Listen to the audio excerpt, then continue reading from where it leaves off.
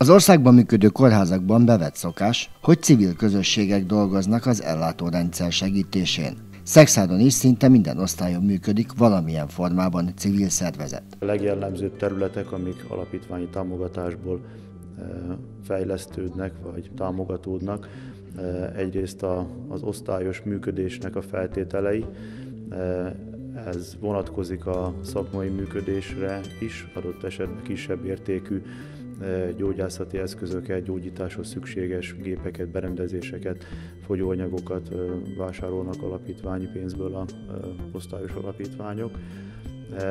Ezen kívül a beteg komfortot és dolgozói komfortot fokozó és javító beruházások jellemzőek, illetve a harmadik jelentős terület az pedig a képzésben jelenik meg. Dolgozóink különböző képzéseken, tanfolyamokon vehetnek részt alapítványi segítséggel. Legutóbb a Baleseti Alapítvány eszközvásárlásairól tudtunk beszámolni, most pedig a Hospice Alapítvány sietett az ellátórendszer segítésére. Ezt kell alulra tenni, hogy ugye a váladékokkal ne szennyeződjön. Ez egy nagyon klasszul lefertőtleníthető dolog, és ez például, a, amikor oldalra fordítjuk a beteget, akkor a két lába közé tesszük, és gyakorlatilag ez a felfestést megakadályozza, vagy, vagy, vagy a megelőzését elősegíti. A méltósággal az út végén Hospice Alapítvány 2004-ben alakult, és gyakorlatilag azóta segítjük a kórház munkáját, munkáját, részben rendezvények szervezésében, eh, részben a szemlélet terjesztésében, részben pedig anyagi adományokkal.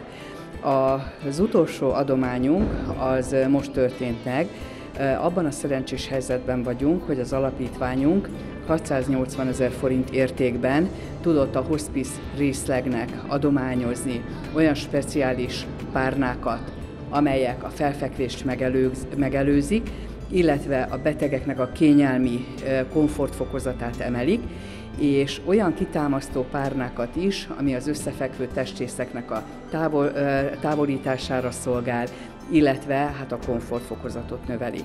Ezeket a párnákat nem lehet és nem is kell mosni, fertőtlenítő oldattal kell letörölni, nagyon speciális maga a párnak anyaga és a párnának a húzata, úgyhogy én személy szerint nagyon boldog vagyok, hogy ennyivel is segíthetjük a betegellátást, és a későbbiekben is reményeim szerint az alapítványnak a vagyona nőni fog, akkor tudjuk a részlegnek a munkáját segíteni. A kórháznak nagyon sok felé kell osztani a figyelmét, illetve a, a beruházásra fordítható, elkölthető pénzét. Nyilván ebbe egy prioritási listát kell felállítani, hogy mit mikor tehetünk meg, és melyik beruházás sürgősségét tekintve mikor kerülhet sorra.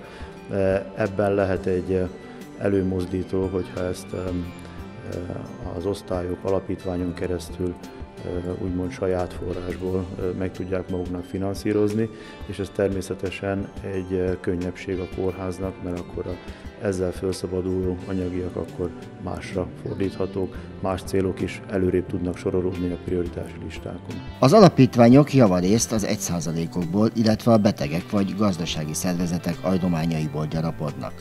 A tapasztalat az, hogy az érintettek vagy azok hozzátartozói szívesebben nyúlnak a pénztárcákba, segítve az érintett terület alapítványát. Pontos adat nem áll rendelkezésre az adakozás mértékéről, de német Csaba főigazgató véleménye szerint több millió forint kerül be így a betegellátás minőségének javításába.